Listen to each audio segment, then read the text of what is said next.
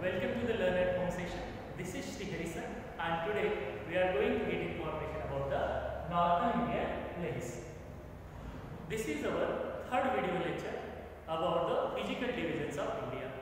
In our first video lecture we got information about the introduction of physical divisions and in second video lecture we got information about the Northern Indian mountains means the Himalayas and today we are going to get information about the Northern Indian plains.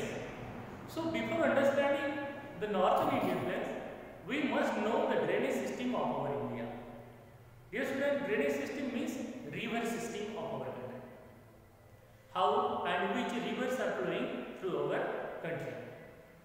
First of all, we will understand how these rivers are divided on what basis.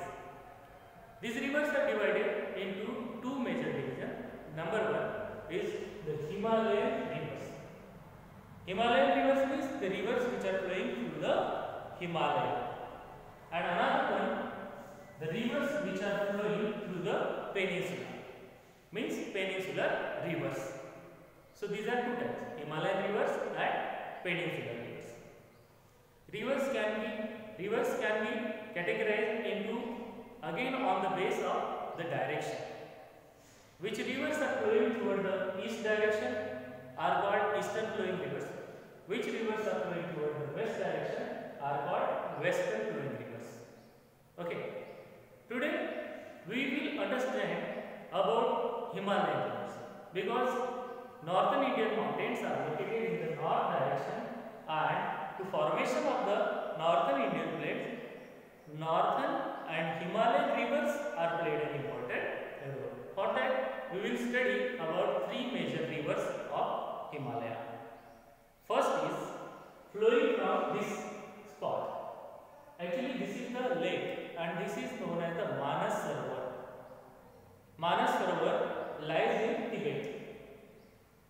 We know our neighboring countries. Here is Nepal, here is Bhutan, here is Tibet and that is China. Manas Sarovar is located in Tibet and from the Manas Sarovar toward the west, one major river is originating and its name is River Indus.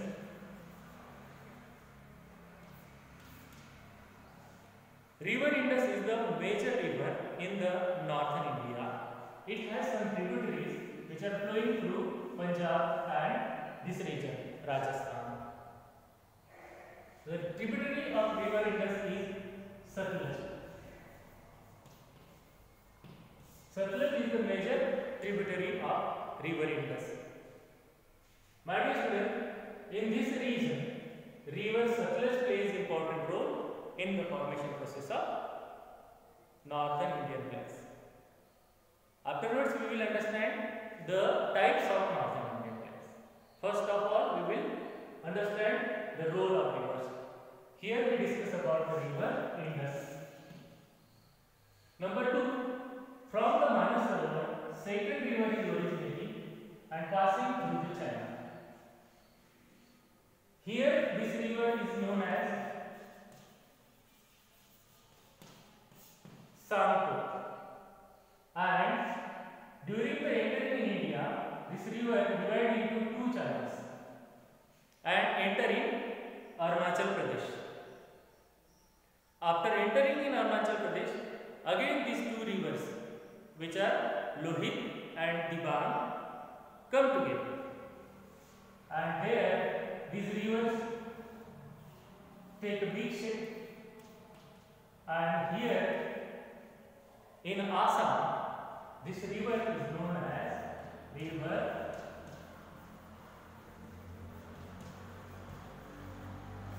Brahmaputra.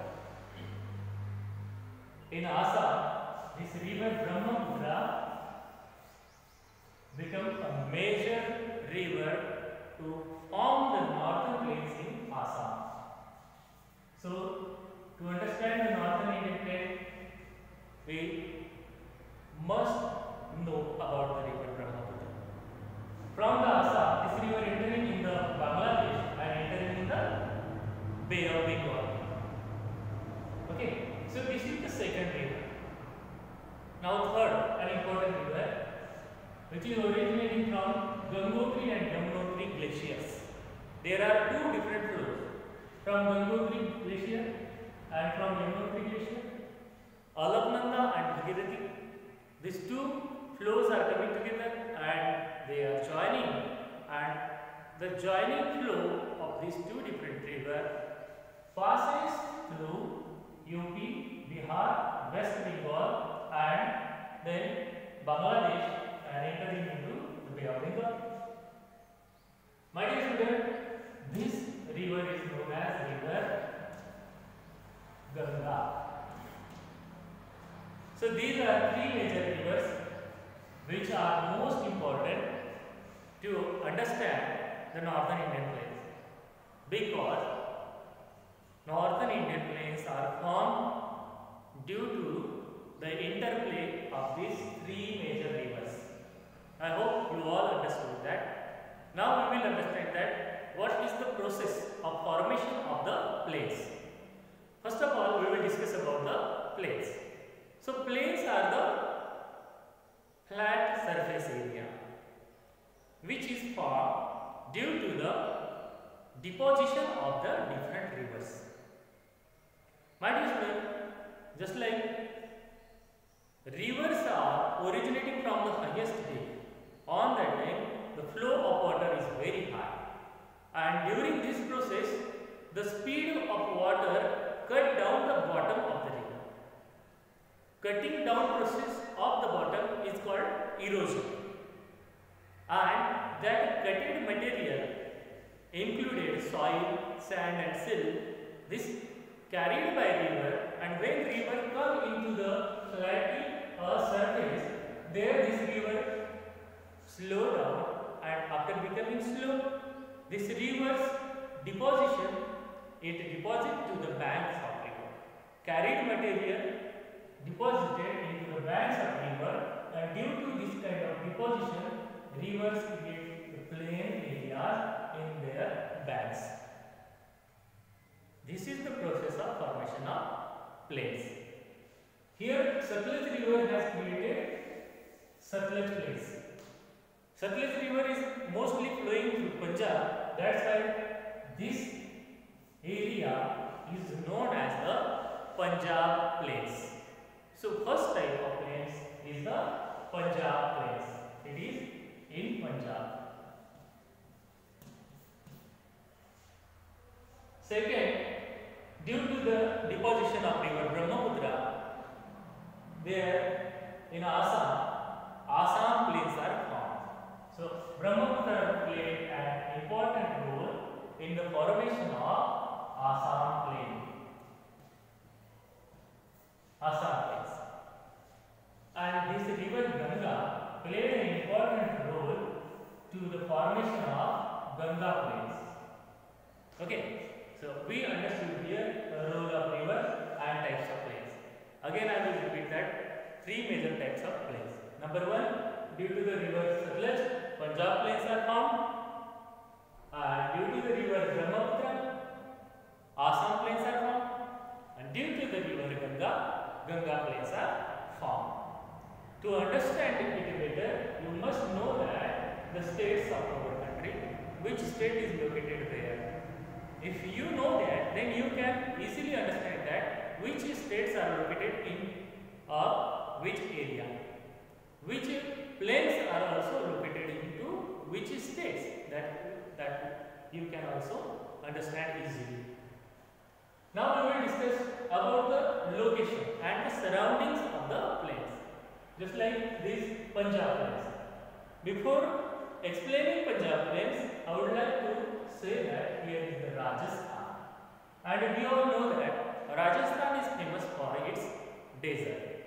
Rajasthan desert is also known as Great Indian Desert. This desert is also known as Marudyan. It is also called Marusthali. Marudyan means Mrut Udyan. It is also called desert. So in the north of desert, you can see the existence of Punjab plains. Here is a mountain range in the Rajasthan. Its name is Aravalli. Aravalli mountain range. Toward the east of Aravalli, to the West Bengal. In this region, Ganga plains are extended, Ganga plains are stretched. So if anybody asks you where Ganga plains are situated, so you can answer in the east of Aravalli ranges to the West Bengal. This is Ganga plains are extended. Now about the Brahmaputra plains. Brahmaputra plains are situated in Assam. Okay, so these are three types of plains. So in this session, we covered these points. Some points are also remaining. You can see that Ganga river flowing through this region, and here one tributary of Ganga is flowing down. Its name is Hugli, H-U-G-L-I, Hugli River, and on the bank of Hugli River, this Ganga has created a huge delta. So here is a new concept, delta. What is meant by delta? When river divided into several channels near its mouth in a triangular shape. Look at that. This is the triangular shape. In a triangular shape, that a river divided into several channels, it is called as delta. This delta is also known as Sundarban Delta.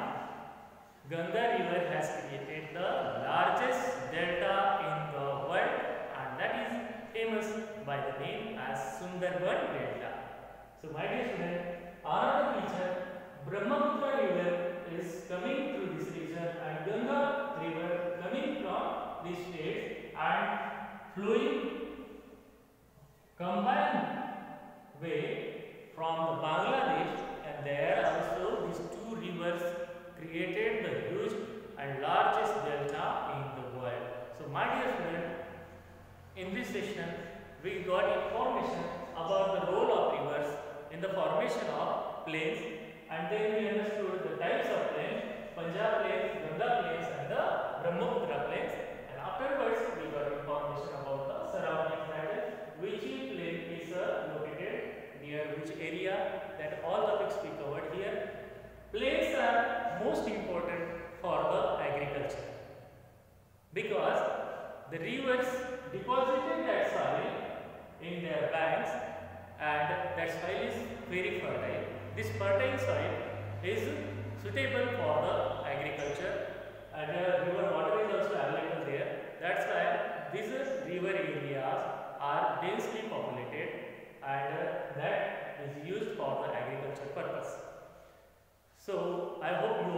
understood that. For today, this much only. Thank you.